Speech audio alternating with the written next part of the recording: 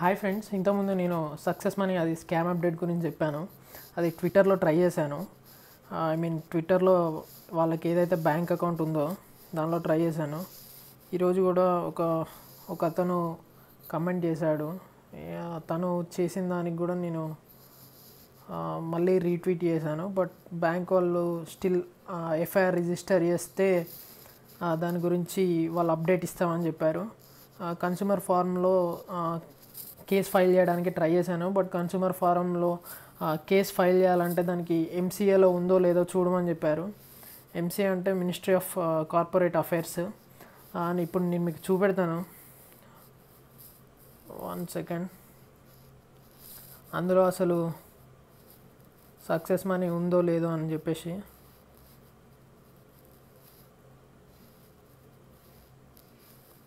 ఇక్కడ చూడండి check company name అని చెప్పేసి వస్తుంది.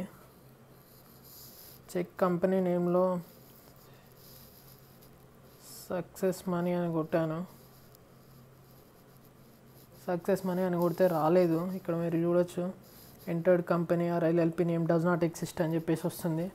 అయితే ఇలా ఇందులో రావట్లేదని నేను ఏం చేశానంటే వాడిచ్చిన పాన్ కార్డ్ ఉంది కదా అది నేను మా ఫ్రెండ్ని ఫార్వర్డ్ చేయమని చెప్పాను.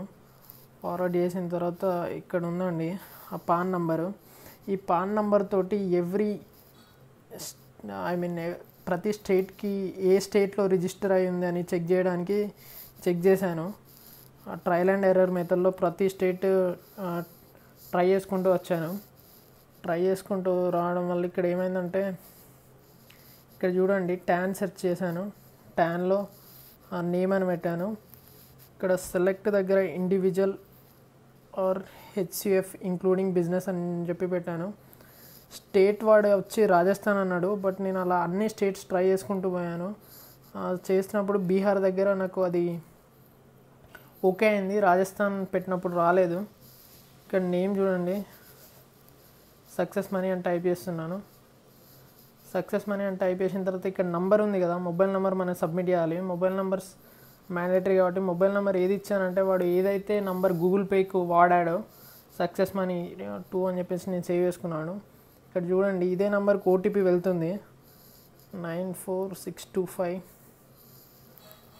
four eight two five four continue కొట్టాను. ఇక్కడ మీరు చూడొచ్చు please provide the OTP send to your mobile number అంటే ఆ ఐ మీన్ ఆ పాన్ కార్డ్ ఫేక్ కాదు. ఆ పాన్ కార్డ్ ఖచ్చితంగా ఎవరిదో ఒకరి నేమ్ మీద రిజిస్టర్ అయి ఉంది. ఇన్ ఇండిపెండెంట్ బిజినెస్ మీద రిజిస్టర్ అయి ఉంది. కాబట్టి మనం ఖచ్చితంగా కేస్ రిజిస్టర్ చేస్తే ఈ డీటెయిల్స్తో వాడిని పట్టుకోవచ్చు అని చెప్పేసి నేను అనుకుంటున్నాను. సేమ్ అదే నెంబర్కి ఓటీపీ వెళ్తుంది. కాబట్టి నంబర్ కూడా మ్యాక్సిమం మనం కేసు ఫైల్ చేసిన దాన్ని బట్టి సైబర్ క్రైమ్ వాళ్ళు రియాక్ట్ అయిన దాన్ని బట్టి వాళ్ళు ఖచ్చితంగా ఈ కేసు చేజ్ చేస్తారనుకుంటున్నాను. కాబట్టి ఇక్కడ నేనున్న ప్రజెంట్ సిచ్యువేషన్లో నేను ఇక్కడ లాక్డౌన్ కాబట్టి మా నేటివ్లో ఉన్నాను కాబట్టి కేసు ఫైల్ చేయలేకపోతున్నాను. ఎవరైనా సైబర్ సైబర్ క్రైమ్లో ఈ డీటెయిల్స్ వాడి పాన్ కార్డు వాడికి మన వాడి బ్యాంక్ అకౌంట్ నెంబర్ అవన్నీ డీటెయిల్స్ ఇచ్చి ఎవరైనా ఫైల్ చేయొచ్చు.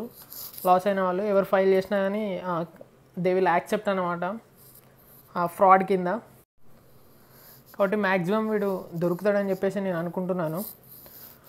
Thank you please subscribe to my channel for further updates I hope ఈ వీడియో మీకు హెల్ప్ఫుల్గా హెల్ప్ఫుల్గా ఉంటుందని నేను అనుకుంటున్నాను. థ్యాంక్ యూ కాబట్టి మ్యాక్సిమం వీడు దొరుకుతాడని చెప్పేసి నేను అనుకుంటున్నాను. Thank you please subscribe to my channel for further updates I hope ఈ వీడియో మీకు హెల్ప్ఫుల్గా హెల్ప్ఫుల్గా ఉంటుందని నేను అనుకుంటున్నాను. Thank you